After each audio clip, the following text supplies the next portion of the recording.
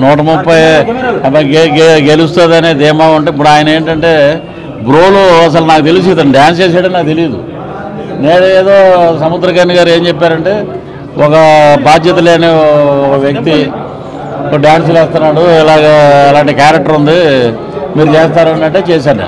సరే అంబటి రాంబాబు గారు మినిస్టర్ ఏంటి రోడ్డు మీద డ్యాన్స్ చేస్తున్నాడు? ఇతను గడ్డం పెట్టాడు బోడీ గారు లాగా డూప్ లాగా ఏంటిది అనుకున్నాను నేను. అప్పుడు ప్రచారానికి వెళ్ళాం. అప్పుడు క్లీన్ షేవ్ ఈయన కాదే అనుకున్నాను నేను. డ్యాన్స్ చేస్తాడు. డ్యాన్సుల గురించి సినిమాల గురించి కలెక్షన్ల గురించి డిస్ట్రిబ్యూటర్లు ఒంగోలు వాళ్ళు డిస్ట్రిబ్యూటర్లు సినిమా హాల్లో కలెక్షన్ల గురించి మాట్లాడే వాళ్ళు వీళ్ళు మినిస్టర్లు ఏంటంటే. ఇక్కడ ఏమైనా తెలిసిన ప్రాజెక్టుల గురించి నాలుగున్నర సంవత్సరం ఎవడైనా మాట్లాడాడా? ఎప్పుడు మూడు పెళ్ళిళ్ళు రెండు చోట్ల ఓడిపోయాడు. మూడు పెళ్ళిళ్ళు రెండు చోట్ల. ప్రజలు చూస్తున్నారు. తీర్పు అద్భుతంగా ఉంటుంది.